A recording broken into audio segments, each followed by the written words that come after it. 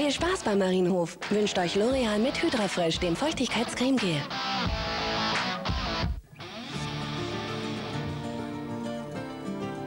Es wird viel passieren.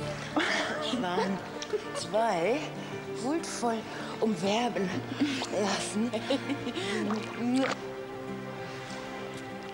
Wenn du deinen Mann verlässt, dann bist du nicht mehr meine Tochter.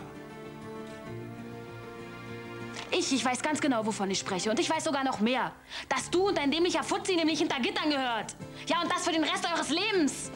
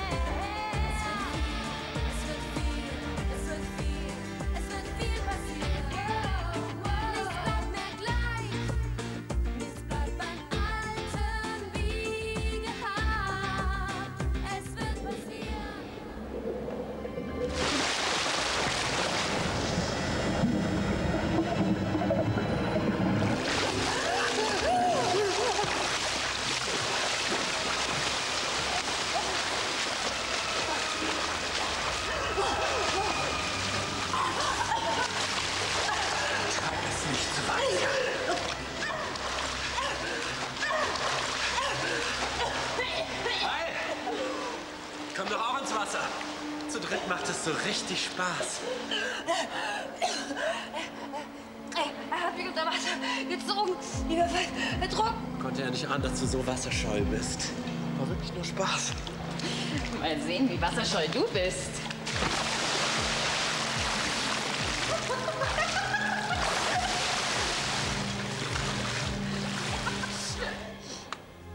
Ich hab's vermasselt, Mann. So eine Scheiße. Die behauptet doch sicher, Robby hat sich das alles nur ausgedacht. Und der Typ, der, der hat ihn überhaupt nicht angefasst. Der so ein Scheiß.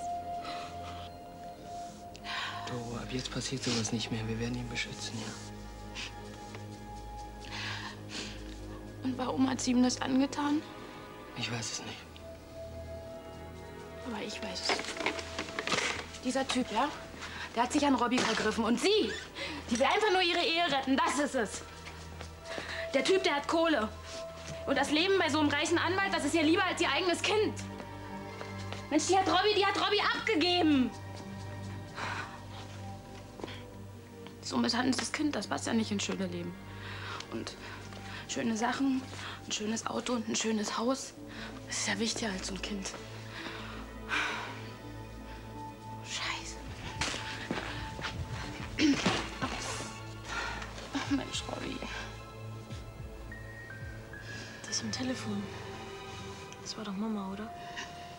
Du was? Du vergisst das am besten jetzt mal ganz schnell, ja? Ich wollte nicht lauschen. Nicht böse sein. Ich bin doch nicht böse. Und ich hab dich doch lieb. Doro. Lass mich nicht allein. Ich lass dich doch nicht halten. Eigentlich hat sich Roman heute recht gut gehalten. Ja, ich glaube, er kommt immer besser mit der Situation klar. Na, schade, dass er nach Hause wollte. Hey, was ist denn? Du bist ja so still. Weißt du, vielleicht komme ja ich immer schlechter mit der ganzen Situation zurecht. Raus damit. Was ist los? Heute im Schwimmbad. Ich hatte totalen Schiss. Roman wollte Stimmung machen. Ja, tolle Stimmung, bei der fast einer drauf geht. Komm, jetzt übertreibst du. Roman ist manchmal wie ein kleiner Junge, der über die Stränge schlägt. Andrea, ich hatte Todesangst. Ich habe geglaubt, dass er mich jetzt umbringen will. Er konnte ja nicht ahnen, dass dir so schnell die Puste ausgeht. Billy, jetzt tust du ihm aber wirklich Unrecht. Andrea, ich sag ja nicht, dass er es geplant hat. Aber weißt du, das war kein Spaß mehr. Das war bitterer Ernst. Du hast ihn in keinster Weise provoziert. Warum sollte er da plötzlich ausrasten? Wenn wir das nächste Mal schwimmen gehen, dann schubst du ihn einfach vom Beckenrand. Ja, also wenn, dann vom 10-Meter-Brett.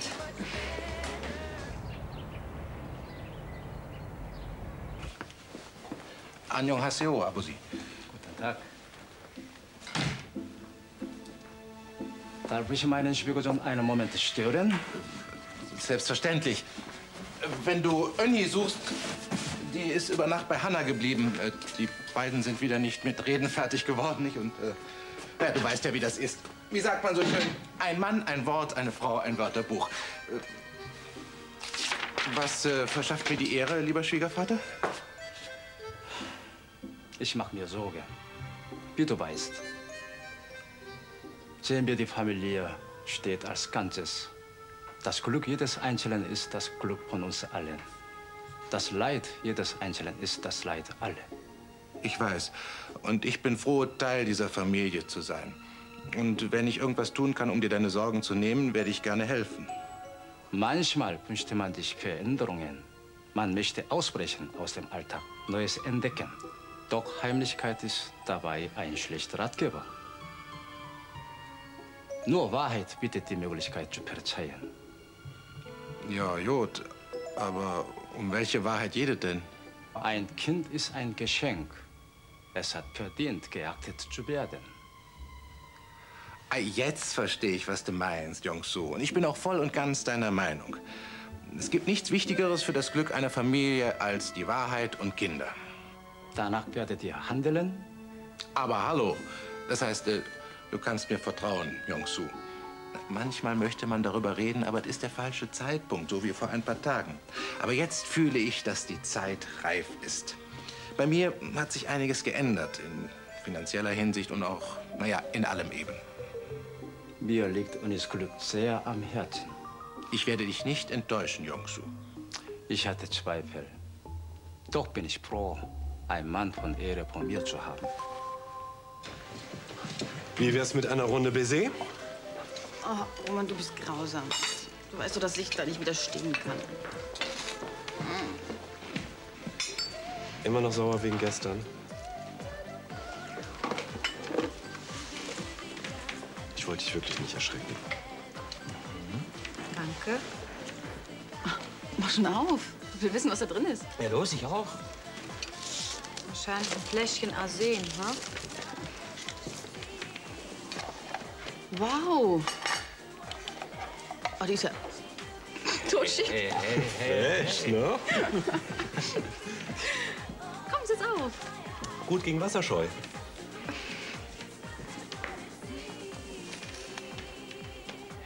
Wow, wow, wow, wow. Hey.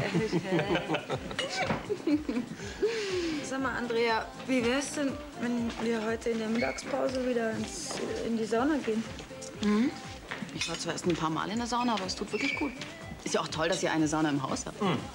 Ich kriege ja völlig Platzangst, wenn ich eine Sauna nur von außen sehe. Ja? Oh nee, jetzt nicht schon wieder diese Geschichte. Oh, Billy, komm. Ein Scheinehepaar erzählt einen Witz. Jetzt erzähl mal. Ja, ist noch nicht lange die Geschichte. Also es war so, in meinen wilden Jahren, ja, da war ich äh, mit meiner Frau, also mit meiner Freundin Rita, waren wir auf einer Party, ja. Und dann gehen wir in die Sauna, dann, ihr wisst schon, ne? In der Sauna. Ne? Ah, und ja. dann, dann äh, haben ein paar Jungs von der Clique sich einen blöden Spaß erlaubt und haben dann die Sauna zugesperrt. Ja? Und äh, Rita wäre fast an Überhitzung gestorben. Das war unglaublich.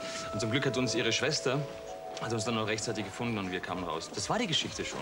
Mehr ist dann. Komm. Ja, also, wenn wir jetzt noch die Gläser fürs Foxy holen wollen, müssen wir los. Ja, wir müssen los, genau. Ja, ich hole dich dann in der Mittagspause ab für die Sauna, ja? Okay, danke für die Brille. Ja, komm, wir müssen gehen. Tschüss. Sag mal, ans Bezahlen denken die wohl überhaupt nicht, wie? Ich habe sie eingeladen. Na gut, dann lade ich dich ein. Billy ist immer noch komisch drauf. Findest du? Ja, also diese Sache im Schwimmbad ähm, hat sie immer noch nicht so ganz verarbeitet. Billy übertreibt. Wie immer. Das müsste dir doch aufgefallen sein, dass sie total in Panik geraten ist. Hey. Du denkst doch wohl nicht ernsthaft, dass ich Billy etwas tun wollte. Ich habe mir einen Spaß erlaubt und der ist schiefgegangen. Das ist alles.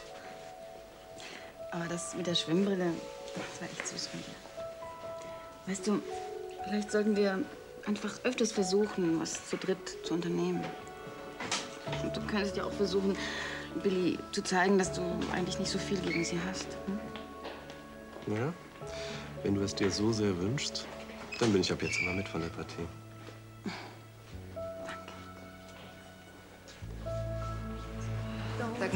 Geschlafen? Null. So geht das wirklich nicht weiter. Also irgendwann klappst du wirklich zusammen. Ich weiß. Aber jedes Mal, wenn ich die Augen zumache, dann sehe ich Frank vor mir und die andere Frau und das Kind. Jetzt hör doch auf. Also man kann sich auch selber fertig machen. Weißt du, was ich am liebsten tun würde? Ja, wahrscheinlich deinen Mann endlich mal zur Rede stellen. Nee, einschlafen, irgendwann wieder aufwachen und feststellen, dass das alles nur ein böser Traum gewesen ist. Also den Kopf in den Sand zu stecken, hat noch nie geholfen. Und ist auch egal, in welcher Tradition. Ja. Hey, da bist du ja. Ich habe dich im Waschhaus gesucht. Frank, was, was ist denn los? Nichts, ich bin einfach nur glücklich. Dein Vater war gerade eben bei mir. Mein Vater? Ja, ja und? Und ich habe dir etwas Wichtiges zu sagen. Was? Dass ich dich liebe. Ja, wie mehr nicht? Entschuldigung. Naja, du hast ja recht. Ich habe dir noch etwas zu sagen. Etwas sehr Wichtiges sogar. Wir haben uns doch vor ein paar Tagen darüber unterhalten, wie es wäre, wenn wir beide, du und ich, also wenn wir ein gemeinsames Kind hätten, ja? Ja? Äh, ich habe da ablehnend reagiert. Das war dumm von mir. Das heißt, es war der falsche Zeitpunkt. Und darüber hast du jetzt mit meinem Vater gesprochen. Mhm. Kim, ich liebe dich. Und es könnte nichts Schöneres für mich geben als ein gemeinsames Kind mit dir. Ein Kind mit mir? Ja, mit wem denn sonst? Ich weiß, dass ich in letzter Zeit vernachlässigt habe, aber das wird sich ändern. Lass uns doch gleich nachher etwas Schönes zusammen machen. Hm? Wie wär's mit Schwimmhalle? Da waren wir doch so lange nicht mehr. Und du bist doch so eine Wasserratte.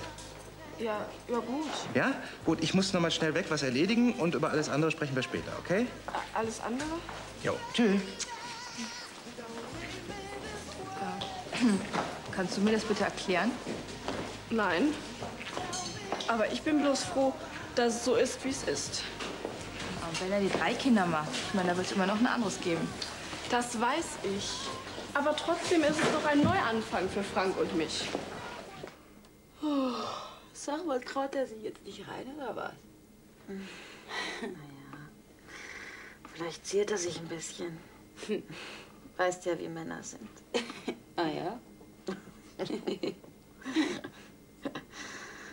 Roman, wo bleibst du denn? Ey, jetzt stell dich nicht so an, ich gucke auch nicht. Ich habe deine Sonnenbrille. ich habe deine Schwimmbrille auf und die ist beschlagen wegen der Hitze. Bin gleich soweit. Aber mit Klamotten gilt nicht. Puh, das ist aber heiß. Kein Wohl in der Sauna. Wenn man mit zwei so tollen Frauen in der Sauna sitzt. Welcher Mann hat das schon? Ich liebe gemischte Sauna. Oh, nicht anzüglich werden. Sonst kriegst du gleich die Brille verpasst. Gib mal her. Nee.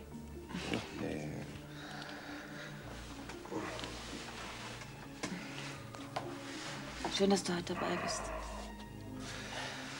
Ja, wenn mal aus der gemischten Sauna keine gemischten Gefühle werden.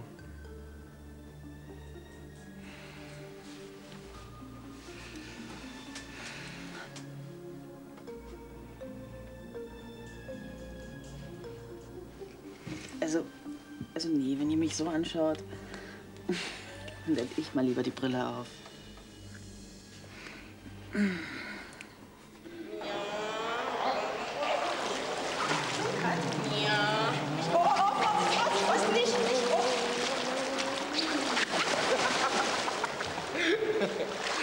So.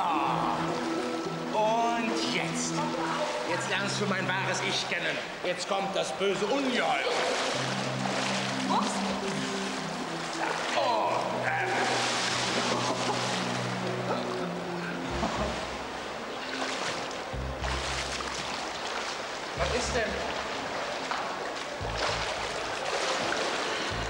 Du was? Ach, nichts. Hast du keine Lust mehr? Hm. gib's zu, du kannst nicht mehr. Na, wenigstens bekommt mein Kind einen fitten und sportlichen Vater. Unser Kind. Unser Kind. Ich kann mir das so richtig schön vorstellen. Wir drei Männer und du. Ach, dass es ein Junge wird, steht also auch schon fest. Ja klar. Bevor du die Fußballmannschaft planst, solltest du den Kleinen wirklich den Windeln entsteigen lassen. Ja, und bevor er das macht, müssen wir ihn erst mal machen. Und es wird doch ein Mädchen. Nein!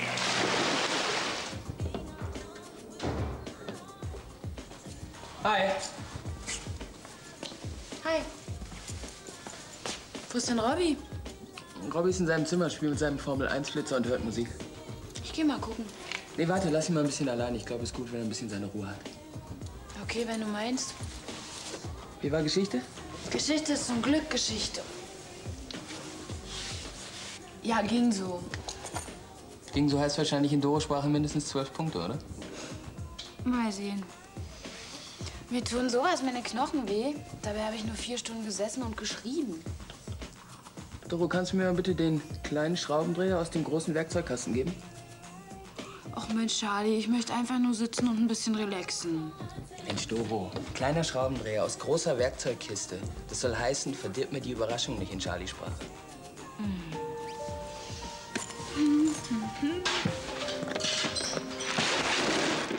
Oh, Rumkugeln. Das habe ich schon lange nicht mehr gegessen. Abiturgestresste sollten immer wieder Rumkugeln zu sich nehmen, damit sie in ihrer neuen Wohnung rumkugeln können.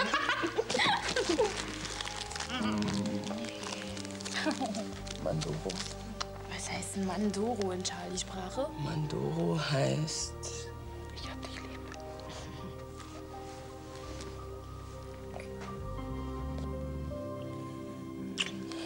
Ohne Worte, aber eindeutig Doro-Sprache. Ist was?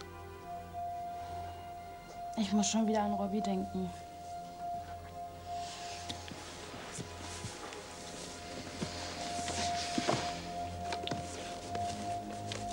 Mir seine Therapeutin gegeben.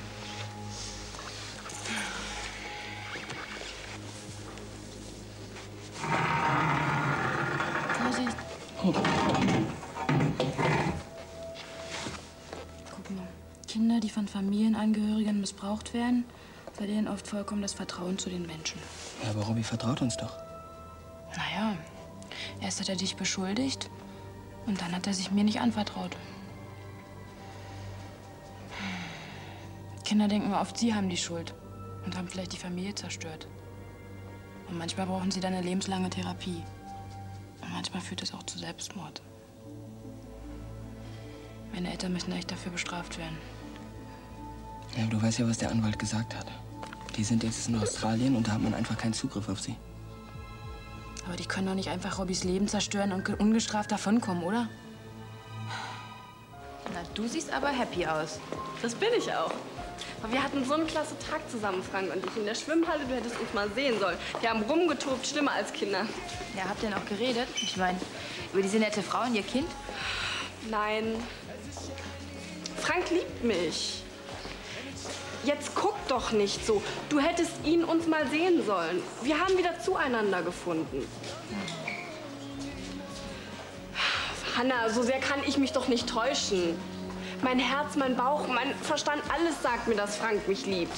Dann sag doch mal ehrlich, glaubst du wirklich, dass er sich so verstellen könnte? Na, immerhin ist ihm gelungen, bis jetzt hier diese Frau zu verheimlichen, oder nicht? Vielleicht war das ja bloß eine einmalige Sache, ein einmaliger Seitensprung. Und selbst wenn nicht, Frank und ich gehören doch zusammen.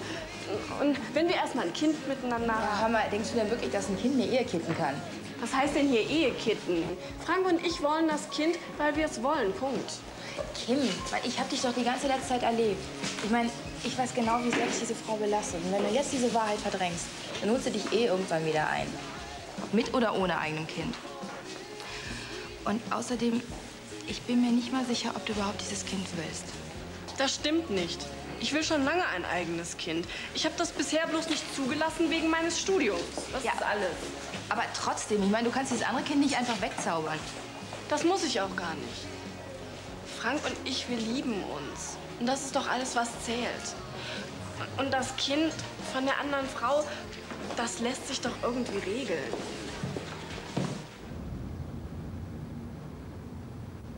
Mutter, ich glaube nicht dir, sondern Robby. Das, was ihr ihm da angetan habt, ja, das war... Mutter, du brauchst es nicht leugnen, das hat doch keinen Sinn. Dafür hasse ich dich nur noch mehr.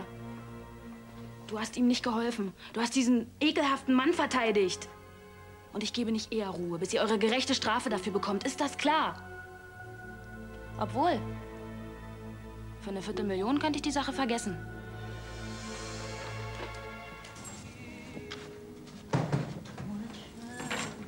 Ernie? Hier.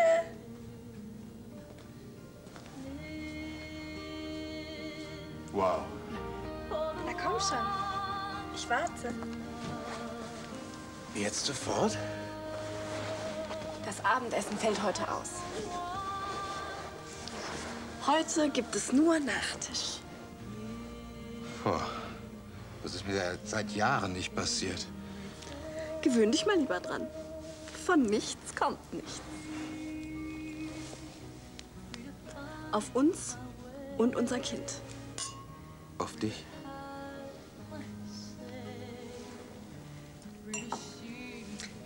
So, jetzt komm.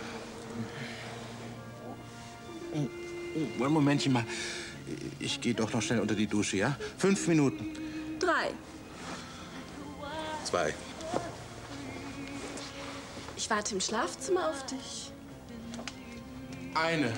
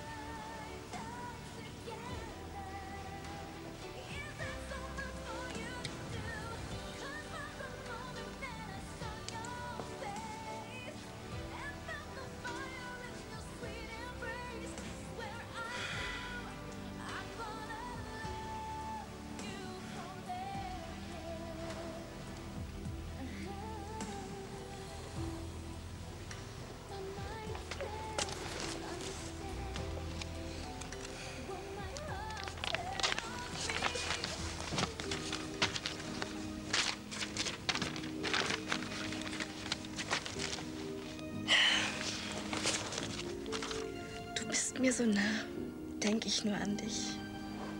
Ich sehe dich vor mir mit deinen wunderschönen blauen Augen. Mein geliebter Schatz, ich liebe nur dich. Es wird viel passieren.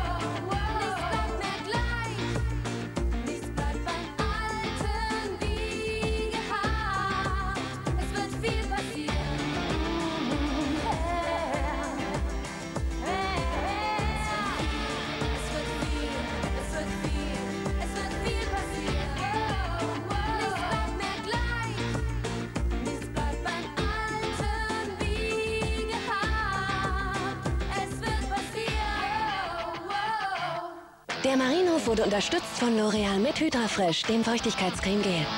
Bis dann, zum nächsten Mal.